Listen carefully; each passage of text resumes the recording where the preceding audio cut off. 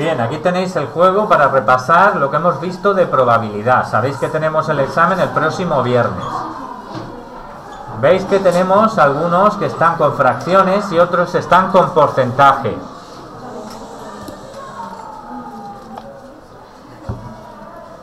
El porcentaje, pues ya sabéis, una fracción a veces representa un porcentaje. Yo lo dejo ahí para que lo penséis. Pues